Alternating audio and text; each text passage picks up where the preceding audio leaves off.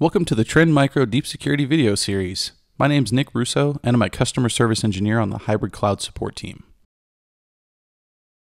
In this video, we're going to continue to discuss scoping your environment for the Deep Security platform.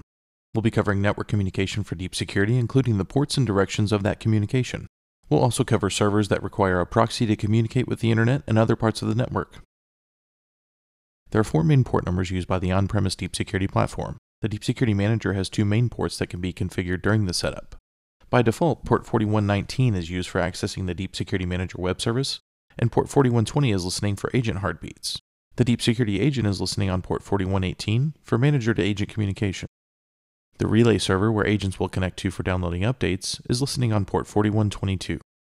Therefore, servers running a Deep Security agent should be able to connect to the Deep Security Manager on port 4120 and also connect to port 4122 on the servers running the relay service. I've included a diagram here of the port connectivity and directions in which they communicate. For customers using our Deep Security as a Service product, the port communication relies mainly on port 443 to app.deepsecurity.trendmicro.com. There's a document listed in the video description that includes a full listing of ports to consider and URLs and IP addresses of other outside services that Deep Security may connect to. For further connectivity testing, you can use Telnet from one component to another using the ports configured for Deep Security. For example, if I Telnet from my Deep Security Manager server to a server running an agent on port 4118, I should have a successful connection with a blinking cursor in the command prompt.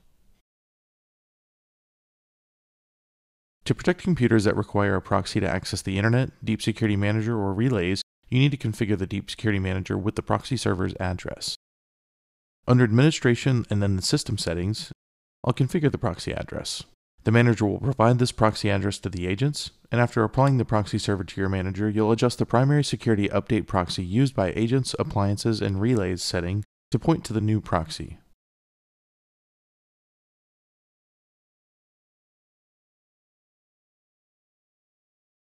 After adding the proxy, you'll also have an option to add the proxy server to the deployment script for use with future new machines.